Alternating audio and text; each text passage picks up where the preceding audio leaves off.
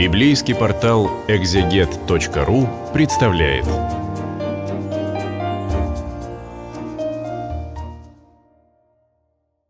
Сегодня э, на библейском портале «Экзегет» мы продолжаем наши беседы по третьей книге «Царств». И мы будем читать 15 главу этой книги. 18 год царствования Иераваама, сына Наватова, Авия э, воцарился над иудеями. Три года он царствовал в Иерусалиме. Имя матери его Мааха, дочь Авесолома. Вот э, то, что встречается имя Авесолома, это не просто уточнение, это как бы показан э, характер этой матери, что она вела неправильный образ жизни. Потому что о женщинах очень редко сообщается, чья дочь. А если сообщается, то с каким-то смыслом. А Весолом – это отрицательный персонаж. Он, то есть э, Авия, ходил во всех грехах отца своего, которые тот делал прежде него, и сердце его не было предано Господу, Богу его, как сердце Давида, отца его. Но ради Давида Господь, Бог его, дал ему светильник в Иерусалиме, восстановив по нем сына и утвердив Иерусалим. А свет, а, здесь имеется в виду добрый потомок, который как бы продолжает его деяние. То есть, когда свет жизни отца а, угасает, уже другой человек занимает его место, его сын.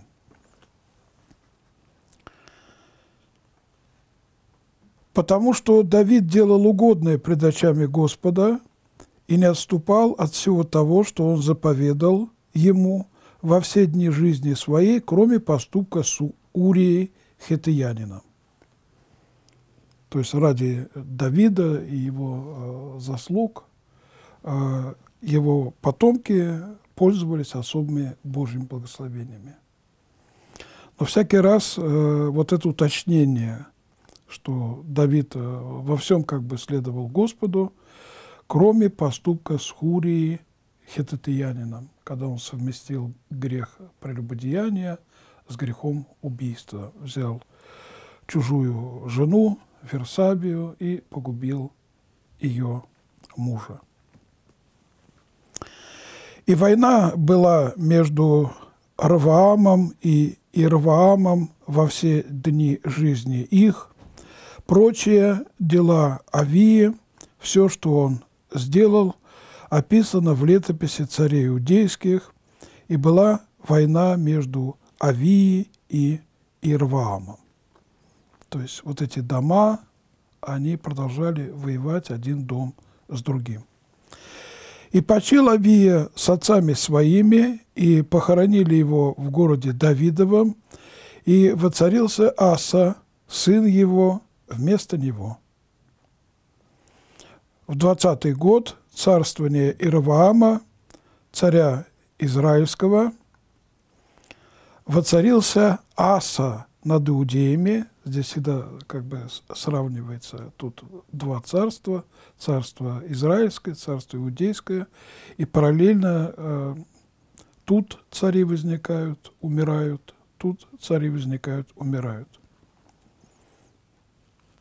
В двадцатый год царствования Иераваама, царя Израильского, воцарился Аса над Иудеями, то есть в Иерусалиме, и 41 год царствовал в Иерусалиме, имя матери его Анна, дочь Авесолома. Опять это имя. Аса делал угодное пред очами Господа, как Давид, отец его. Он изгнал блудников из земли. Вот если в предыдущей э, главе э, о блуднике говорится в мужском роде и в единственном числе, что появился блудник, то есть появился извращенец, то э, в одни э, асы царя уже там э, было э, немало блудников, которых э, развратил этот э, садомит – и Асе пришлось их как-то вот э, прогонять из своего царства. Он изгнал, изгнал блудников, в оригинале тоже это слово стоит во множественном числе, в отличие от 14 главы. И отверг всех идолов, которых сделали отцы его. И даже мать свою Анну лишил звания царицы – за то, что она сделала истукан Астарты и изрубил Аса истукан ее и сжег у потока Кедрона. Ну, в оригинале говорится, что она сделала страшилище, какое-то ужасное изображение, и это страшилище должно было отгонять как бы от нее духов, но вот Аса все это уничтожил и отлучает свою э, мать от царского правления. Мы знаем, что э, матерей почитали, и когда Соломон был правителем, то его мать сидела справа от него, и ставили специально трон, а тут Аса отвергает мать, которую он увидел, что она идолопоклонница. Высоты же не были уничтожены, но сердце Асы было предано Господу во все дни его. И внес он э, в дом Господень вещи, посвященные отцом его, и вещи, посвященные им, серебро и золото и сосуды. Вот здесь мы видим, как по мере того, как религиозные и нравственные нравы людей исправляются, и достаток их начинает тоже возрастать. Посмотрим, э, какие есть э, комментарии. Иероним Стридонский пишет, в отношении многих царей из рода Давида мы читаем, что они были спасены, и не их собственными заслугами, а добродетельностью их отца Давида – сделавшего угодное в очах Господа. Так доходим до Асы, царя Иудейского, о котором написано «Аса делал угодное пред очами Господа, как Давид, отец его». И после пространного отчета о его многочисленных благодеяниях в заключении сказано «Высоты же не были уничтожены, но сердце Асы было предано Господу во все дни его. И вот здесь говорится и о праведности его, ибо сердце его было совершенным пред Богом, но и о заблуждении в том, что не уничтожил высоты, что сделали, как мы читаем далее, Иезекия и Иосия. Блаженный Иероним э, затрагивает здесь э, важный вопрос, что когда человек является правителем, то ему бывает иногда очень трудно свой религиозный идеал, э, скажем так, э, сделать доминирующим во всех отношениях. Потому что были люди, двоеверцы, которых он видел э, в храме, и он знал, что они ходят на высоты.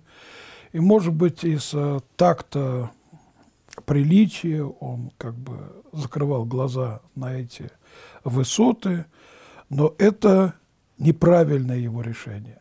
Хотя вот в сердце он был предан Господу, и многое, что он сделал, а, он подражал Давиду, а, своему благочестивому предку, и благословение от Бога имел благодаря Давиду, но вот а, было нечто неправильное –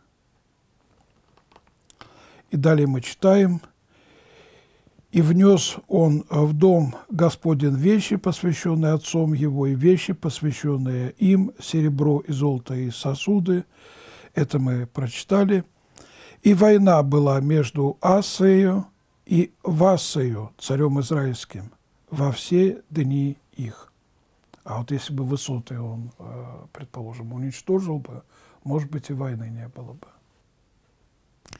И вышел э, Васа, царь израильский, против э, Иудеи, и начал строить раму, чтобы никто не выходил и не уходил к Асе, царю иудейскому. Помните, как и Рвам делал по преданию такие э, пограничные посты, чтобы людей останавливать, которые хотели пойти в храм Иерусалимский помолиться.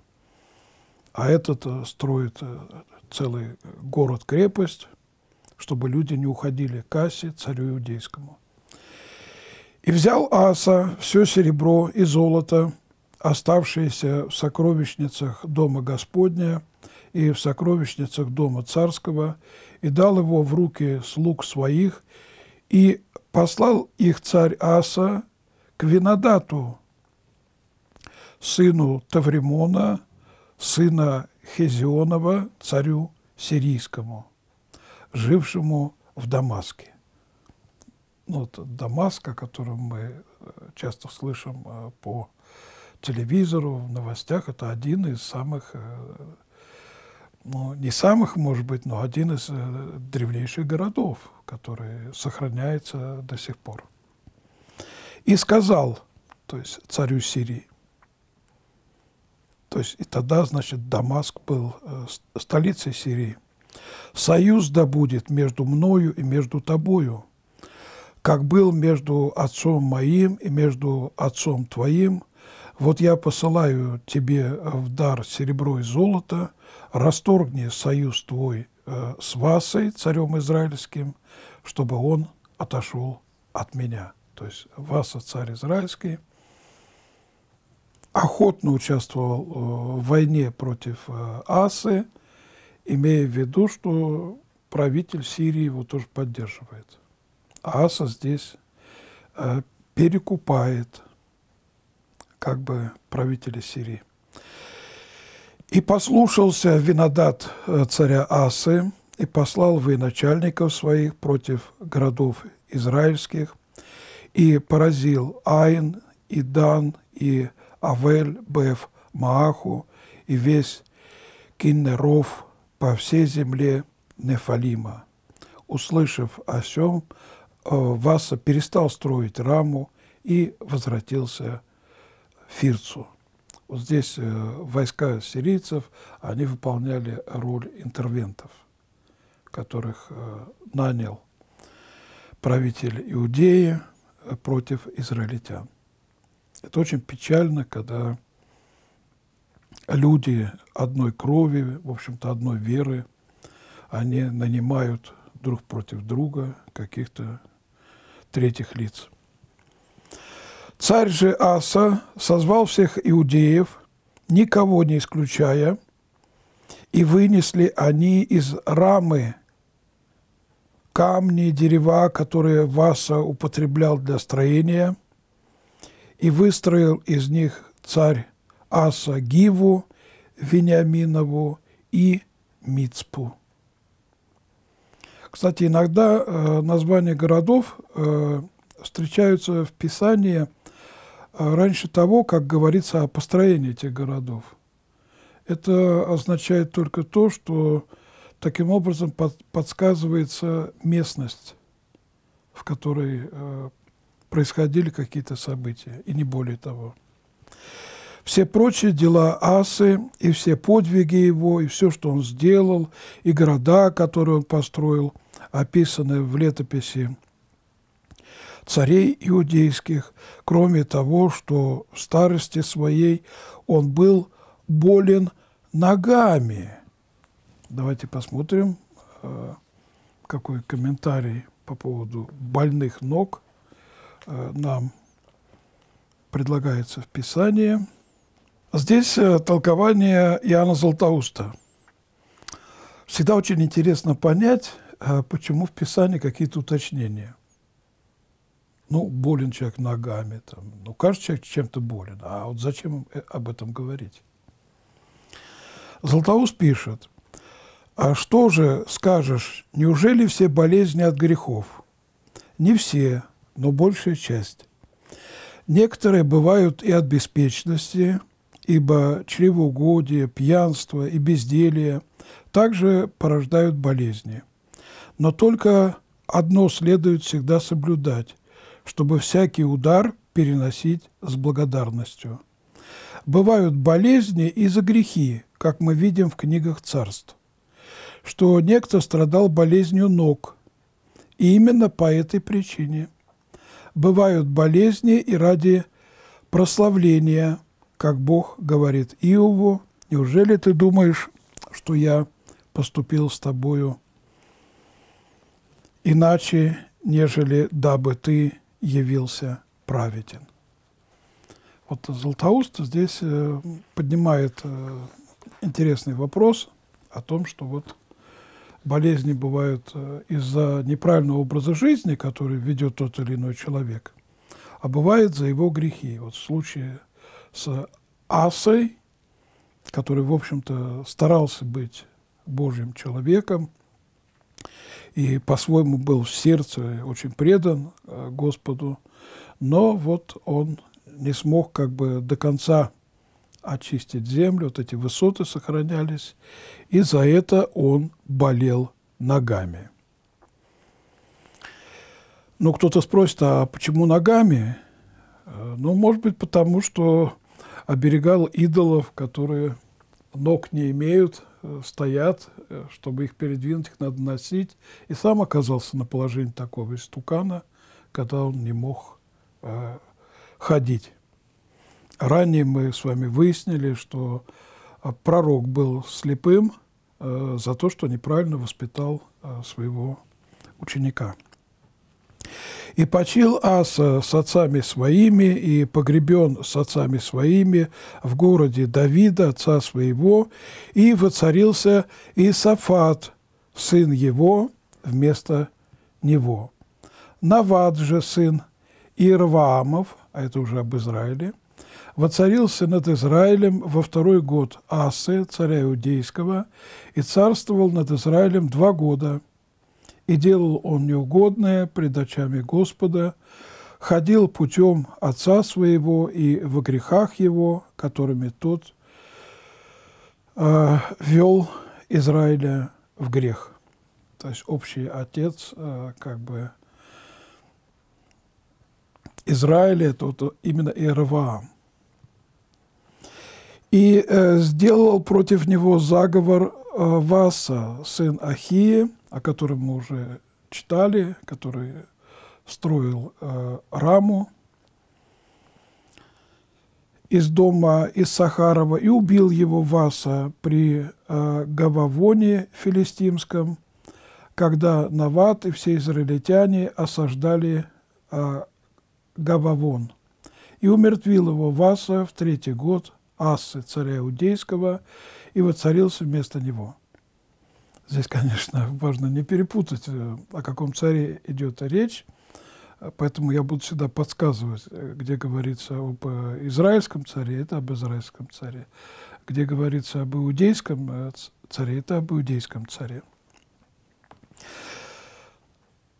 А когда он воцарился, то есть в Израильском царстве, то избил весь дом Ирвамов, не оставил ни души у Ирваама, доколе не истребил его, по слову Господа, который он изрек через раба своего Ахию, силамлянина, того самого Ахию, который ослеп за то, что плохо воспитал Ирваама, но который и возвел Ирваама на престол.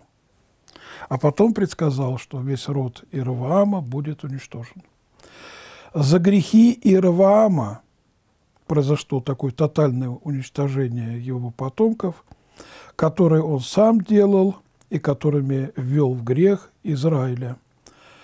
За оскорбление, которым он прогневал Господа Бога Израилева. То есть человек отвечает не только за грехи, которые он делает сам, но проблема заключается в том, что если мы говорим, «А, мои грехи – это мое частное дело, вот так не получается.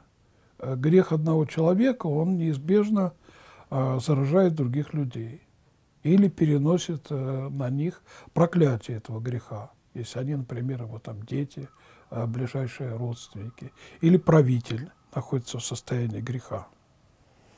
Как царь Иван Грозный все время спорил, что если ему не разрешат жениться очередной раз, то он впадет в блуд, а если он, не дай бог, впадет в блуд, то погибнет все царство московское.